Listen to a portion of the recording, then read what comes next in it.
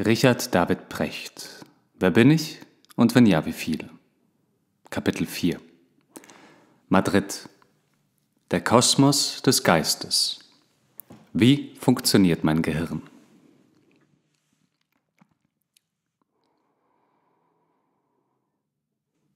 Was ist die komplizierteste Sache der Welt? Eine schwierige Frage, aber für die Naturwissenschaft ist die Antwort eigentlich klar. Sie lautet das menschliche Gehirn. Zugegeben, von außen betrachtet ist es nicht besonders spektakulär. Es wiegt knapp drei Pfund, hat die Form einer aufgeblasenen Walnuss und die Konsistenz eines weichen Eis. Aber darin verbirgt sich der wohl komplizierteste Mechanismus im ganzen Universum. 100 Milliarden Nervenzellen funken darin herum mit bis zu einer halben Trillion Verbindungen. Ungefähr so viel, lautet ein bekannter Vergleich, wie die Anzahl der Blätter im Amazonas-Regenwald. Bis vor etwa 120 Jahren war das Innenleben des Gehirns nahezu unbekannt.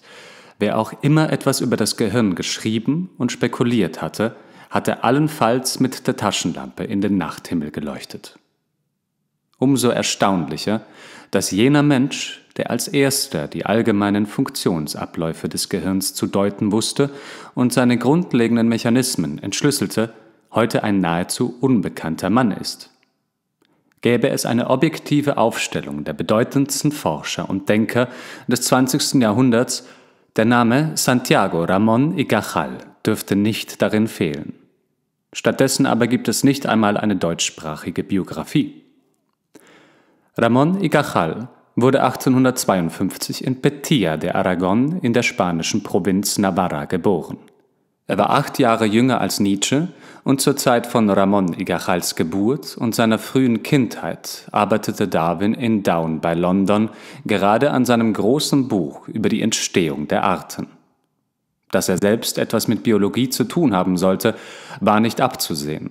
Schon früh wollte er Maler werden. Um den menschlichen Körper zu studieren, grub er als junger Mann gemeinsam mit seinem Vater Knochen aus einem ehemaligen Friedhof aus. Ramon Igachals Vater hatte eine Stelle in der anatomischen Abteilung des Krankenhauses von Saragossa und praktizierte dort als Chirurg. Die Beschäftigung mit den Knochen führte Ramon Igachal schließlich von der Malerei zur Anatomie. Der große Darwin hatte einst sein Medizinstudium abgebrochen, weil er sich davor ekelte, Leichen zu sezieren. Als Ramon y hingegen daran ging, Leichen zu untersuchen, fing er richtig Feuer. Schon mit 21 Jahren wurde er Arzt. Weil er besonders fasziniert war von Leichen und Skeletten, ging er zur Armee. In den Jahren 1874 bis 1875 nahm er an einer Expedition nach Kuba teil und infizierte sich dabei mit Malaria und Tuberkulose.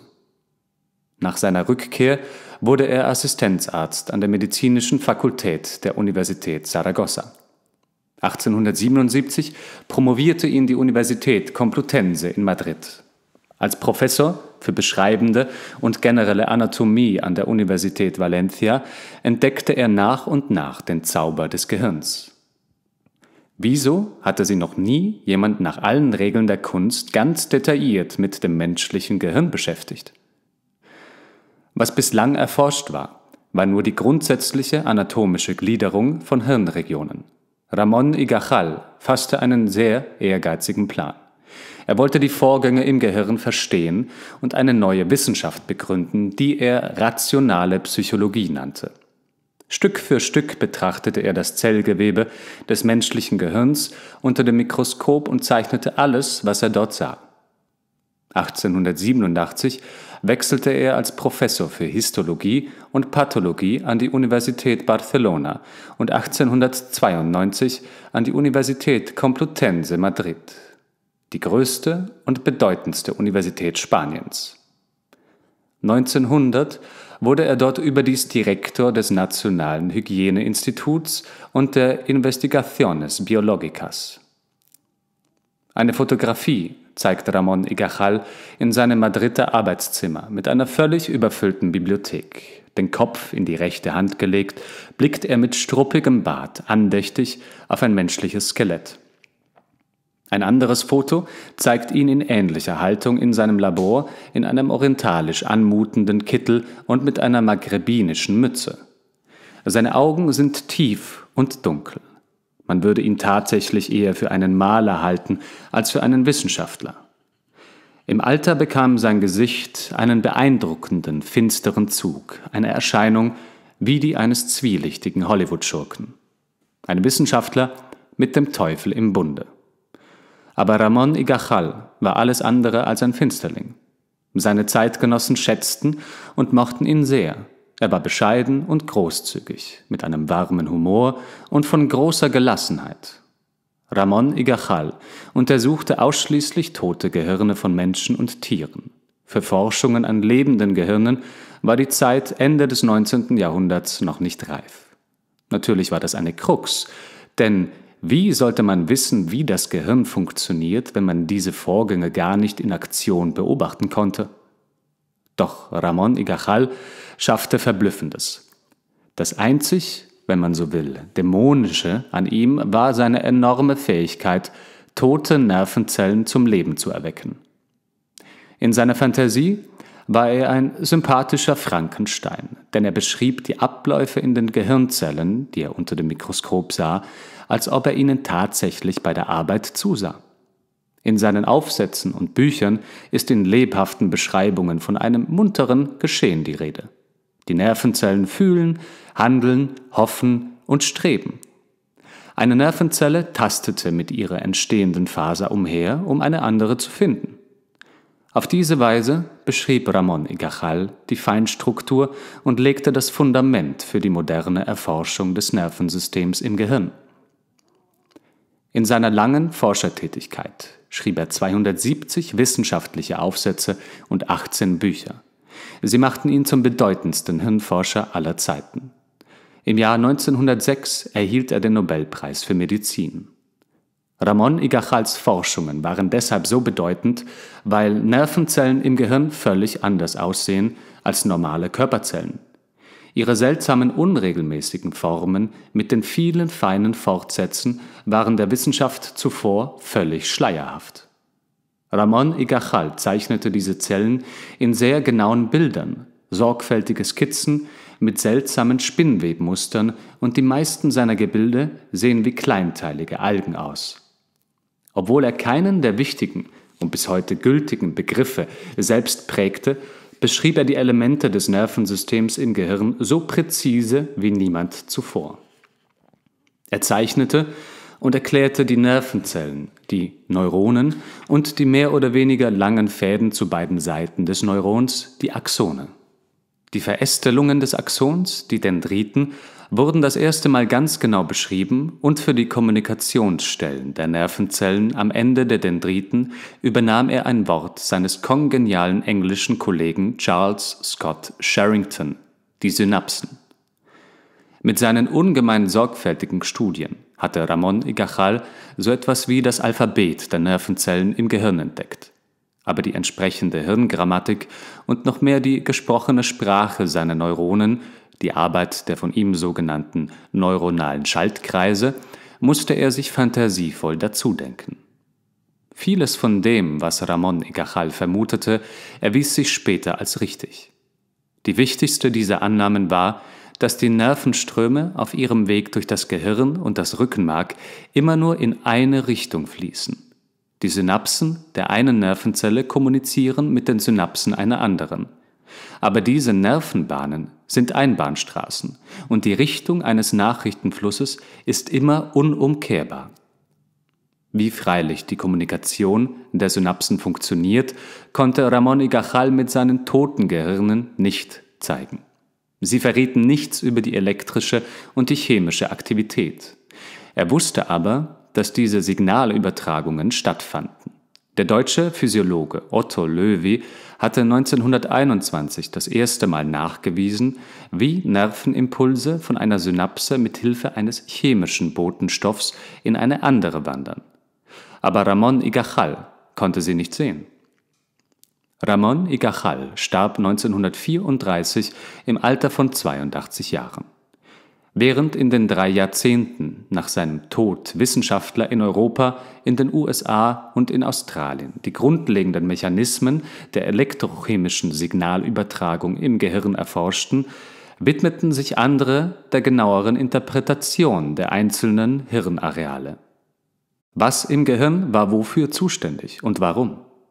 Berühmt wurde dabei vor allem das Modell des US-Amerikaners Paul MacLean aus den 1940er Jahren der das Gehirn des Menschen sehr übersichtlich einteilte.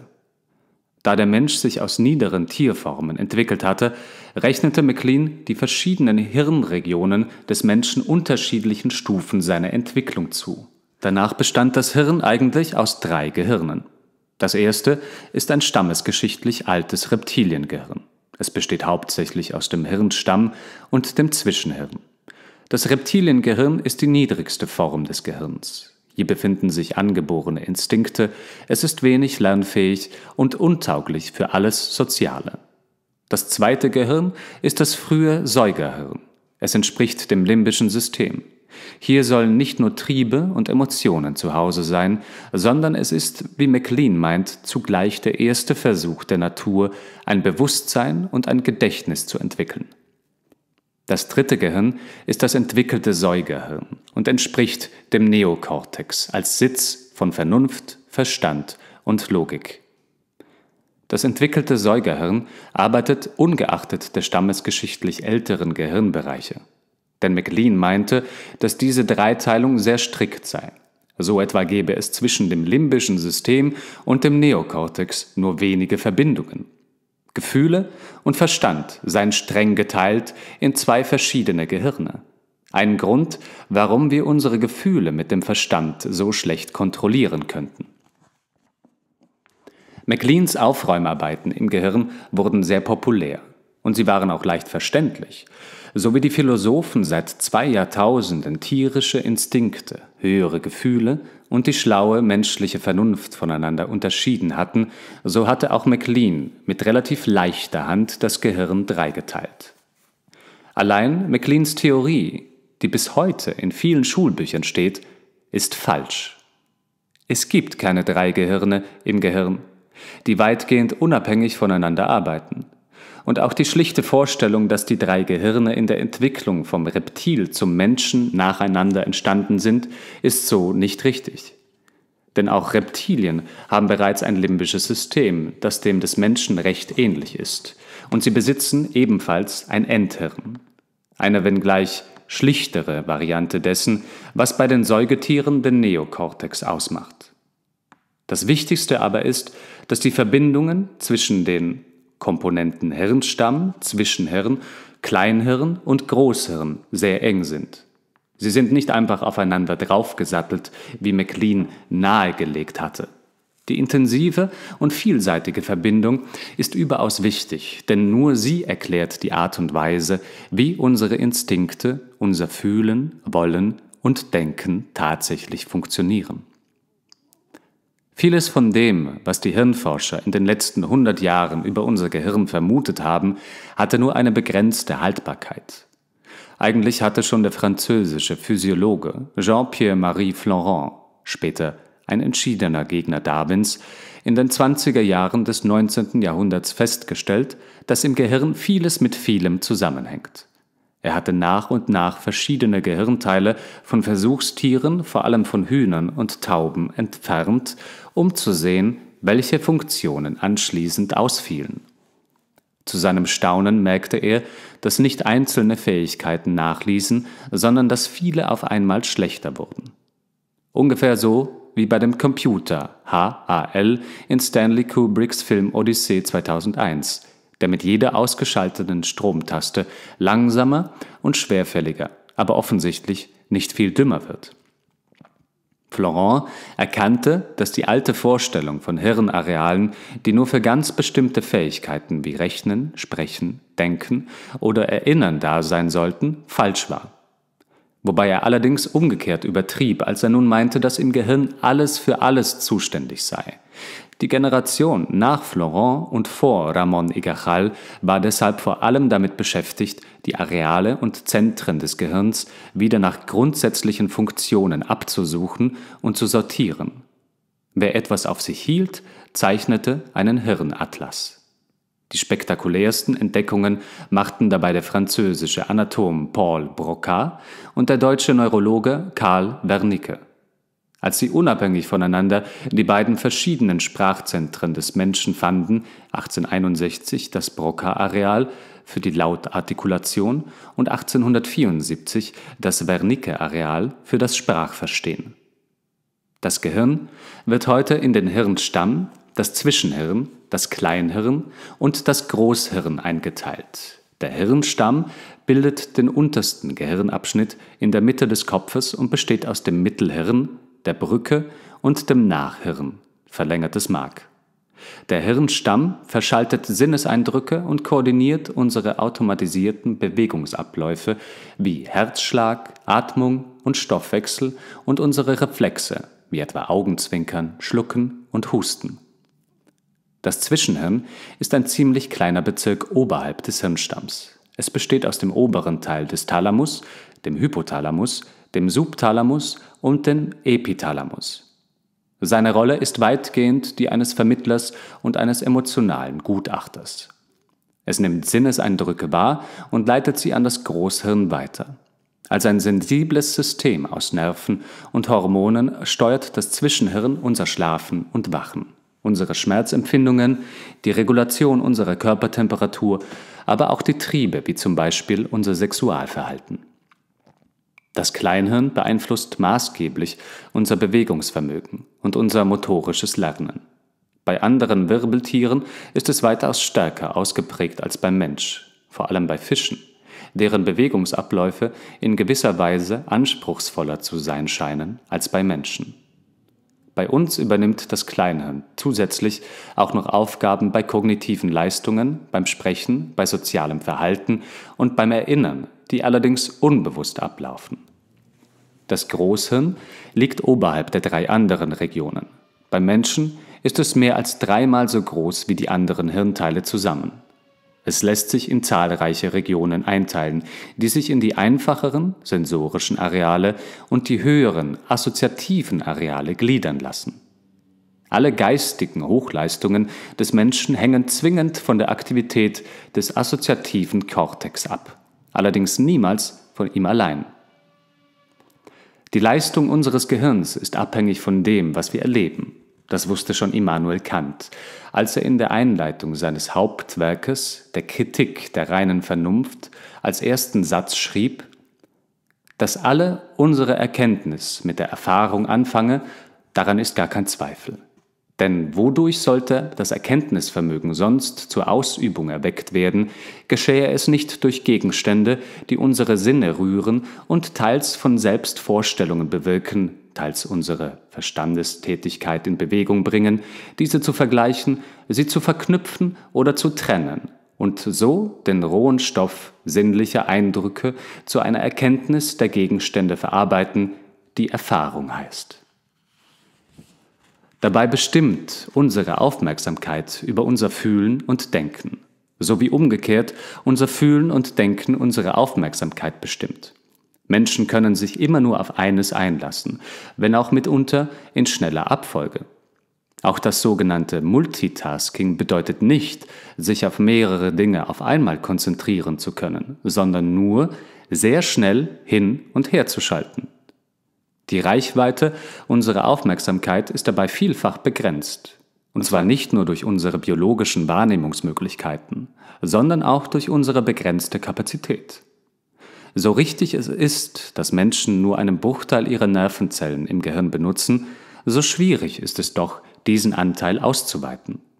Unsere Aufmerksamkeit reicht nämlich nur für eine begrenzte Aktivität im Gehirn aus, so dass sich das eine immer auf Kosten eines anderen ausbreitet. Mein vier Jahre alter Sohn Oskar interessiert sich in sehr starkem Maße für Tiere und kann ohne Schwierigkeit zahlreiche Dinosaurier aufzählen und Ohrenrobben von Hundsrobben unterscheiden. Aber er tut sich noch immer sehr schwer damit, ein T-Shirt anzuziehen. Es ist nicht die Summe unserer Nervenzellen, sondern es ist die Spanne unserer Aufmerksamkeit, die unser Lernvermögen eingrenzt. Immerhin wissen wir heute skizzenhaft, wie Aufmerksamkeit gebildet wird und was neurochemisch passiert, wenn wir etwas lernen. Dass wir diese und andere elementare Abläufe im Gehirn heute kennen und auch die Funktion einzelner Hirnareale ganz gut bestimmen können, verdankt die Hirnforschung dem technischen Fortschritt ihrer Messgeräte. Ramon Igachal hatte noch erleben dürfen, wie der deutsche Psychiater Hans Berger 1929 die Elektroenzephalographie EEG erfand. Es wurde endlich möglich, die Spannungen der elektrischen Ströme zu messen, die im Gehirn fließen. In den 50er Jahren verbesserte man dabei die Elektroden. Mithilfe sensibler Mikroelektroden verfeinerte man das Messfeld so stark, dass sich selbst die Aktivität einzelner Neuronen beobachten ließ. Der nächste Schritt war die Erforschung von Magnetfeldern. Wie alle elektrischen Ströme, so bilden auch die Hirnströme ein Magnetfeld. Seit den 60er Jahren messen empfindliche Magnetfeldsensoren diese Felder und berechnen die Stromquellen im Gehirn. Auf diese Weise zeigt die Magnetenzephalographie MEG, wo das Gehirn gerade besonders aktiv ist.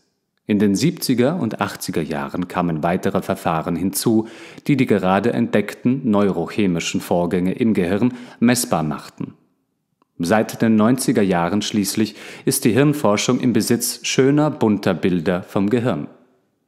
Heute liefern sogenannte bildgebende Verfahren wie die Röntgen-Computertomographie und die Kernspintomographie fantastische Einsichten in unsere Hirnprozesse. Wo früher allein elektrische oder chemische Vorgänge gezeigt werden konnten, messen die neuen Verfahren den Blutfluss im Gehirn und liefern dazu hochauflösende Bilder. Die Enträtselung des limbischen Systems, des Stammsitzes unserer Emotionen und Gefühle, geriet dadurch überhaupt das erste Mal in den Blick der Forschung. Nicht wenige Hirnforscher sind so begeistert von ihren neuen Möglichkeiten, dass sie glauben, ihre Forschung würde die Philosophie und vielleicht auch die Psychologie über kurz oder lang arbeitslos machen. Der Hirnforscher William Kelvin von der University of Washington in Seattle hat dafür ein passendes Bild wenn er vom Traum des Hausmeisters spricht. Der Hausmeister, so Calvin, fühlt sich in seinem dunklen Kellergeschoss nicht wohl. Sein sehnlichster Wunsch ist ein Sprung, am liebsten hoch, bis ins helle Dachgeschoss.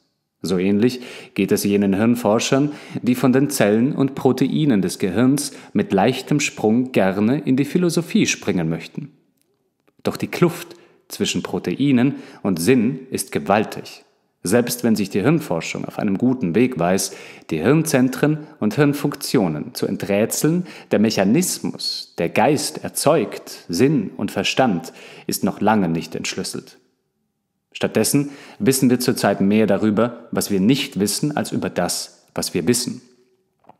Je mehr wir über das Gehirn lernen, umso komplizierter erscheint es uns. Das größte Rätsel geben uns dabei die ganz persönlichen Zutaten des Bewusstseins auf, unsere ganz subjektiven Erlebnisse. Warum sich etwas für uns auf eine ganz bestimmte Weise anfühlt, ist nach wie vor unser großes Geheimnis. Persönliche Gefühle und Leidenschaften lassen sich nicht mit allgemeinen neurochemischen Erkenntnissen erklären. Weder Messapparate noch psychologische Gespräche dringen in diese Erlebnisqualität ein und machen sie sichtbar.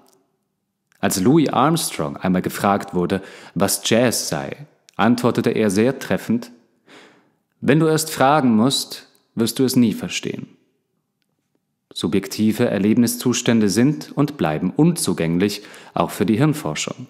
Denn beim Abspielen eines Jazzstücks zeigt der Kernspintomograph zwar, dass in bestimmten emotionalen Zentren meines Gehirns eine erhöhte Blutzufuhr stattfindet, aber er zeigt weder, wie es sich anfühlt, noch warum es sich so anfühlt.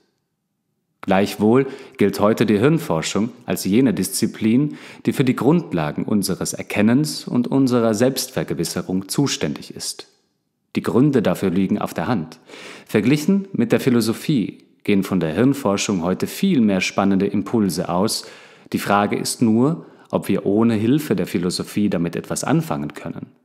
Immerhin ist die Erforschung des Gehirns ein sehr eigentümliches Unterfangen.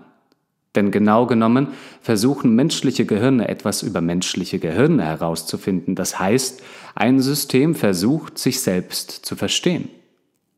Das Gehirn ist dabei sowohl das Subjekt wie das Objekt der Untersuchung, eine prekäre Situation. Machen Hirnforscher mit einer anderen Methode damit nicht das Gleiche, wie die Philosophen, die seit 2000 Jahren versuchen, denkend das eigene Denken zu verstehen? Sich denkend zu ergründen und dabei nach Möglichkeit auch noch beim Denken zu beobachten, war lange die vorherrschende Methode zur Erforschung des menschlichen Geistes. Ihre moderne Zuspitzung fand sie vor knapp 400 Jahren an einem denkwürdigen Winterabend. Ein Winterabend im Dreißigjährigen Krieg. Woher weiß ich, wer ich bin? Danke fürs Zuhören. Schreibt mir doch einfach in den Kommentaren, wie es euch gefallen hat. Oder auch wenn ihr Anregungen oder irgendwelche Wünsche habt. Und wenn ihr kein Video mehr verpassen wollt oder das nächste Kapitel, abonniert einfach meinen Kanal. Ich freue mich. Bis zum nächsten Mal.